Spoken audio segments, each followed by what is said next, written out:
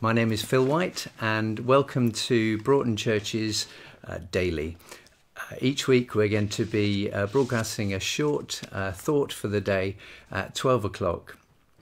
Uh, my name is Phil White, as I said. I'm the vicar of Broughton Church, and it's great to uh, have you joining us this afternoon.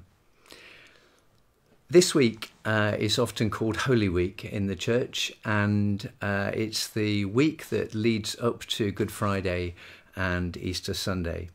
And as I said, during uh, each day this week, we will be uh, speaking to you briefly uh, on a theme around Holy Week. I'd just like to read to you, first of all, uh, from John chapter 13. This is verse 31 through to 38. Judas has just left the disciples, gone to betray Jesus, and so we take up the story. When he was gone, that's Jesus, Jesus said, Now is the Son of Man glorified, and God is glorified in him. If God is glorified in him, in, in him, God will glorify the Son in himself, and will glorify him at once. My children, I will be with you only a little longer. You will look for me, and just as I told the Jews, so I tell you now, where I am going, you cannot come. A new command I give you love one another. As I have loved you, so you must love one another. By this all men will know that you are my disciples, if you love one another. Simon Peter asked him, Lord, where are you going? Jesus replied, Where I am going, you cannot follow now, but you will follow later. Peter asked, Lord, why can't I follow you now? I will lay down my life for you.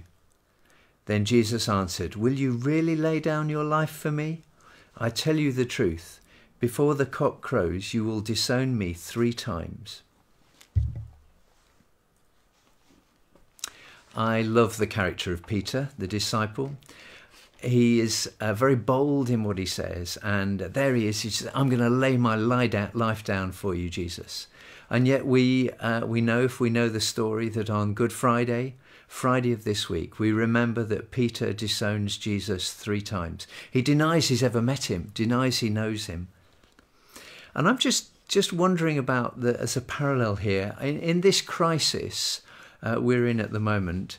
Um, I, like many of you, will have fears about my family and friends. All those people I know, I'll be fearful about. And to be honest, I'm also fearful for my own safety and my own life. And yet, in that passage, Jesus simply calls us to love each other. I wonder whether we've just got a bit sidetracked by what's happening at the moment. And I'm taken back to the beginning of March where we had a church weekend away and a man called Mark Aldridge came and spoke for us. And um, we'd also been listening and following a course he'd put together uh, in, called Learning to Hear God's Voice. He was talking to us and encouraging us about how we can be salt and light in our community.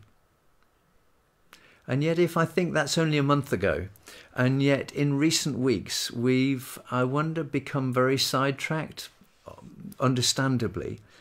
But now we're, we're concentrating on safety. We're concentrating on that two meter distancing. We're talking about social distancing and isolation. We have fears over our own health and the health of our family and friends.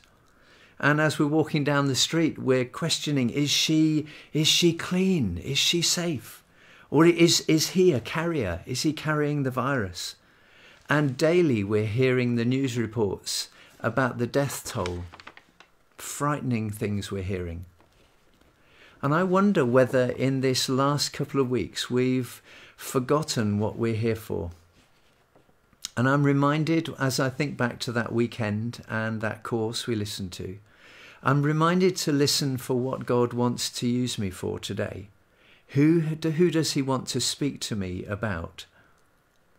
And maybe this sort of prayer, a simple prayer, I'm going to try and remember each day. Come, Holy Spirit, show me how I can be salt and light today to those that I meet. Maybe over the garden fence or people I walk past in the street. Can I just read to you those two verses from uh, John chapter 13, verse 34 and 35? Jesus said this A new command I give you love one another. As I have loved you, so you must love one another. By this all men will know that you are my disciples if you love one another. I'm going to try and focus on what God wants me to do today, rather than getting all caught up with worries over my own life, just as Peter was. So simply, my prayer is Come, Holy Spirit, show me how I can be salt and light to the people I meet today. How can I be, how can I love? I hope you have a great day, and please do join us here at Facebook again tomorrow at 12 o'clock.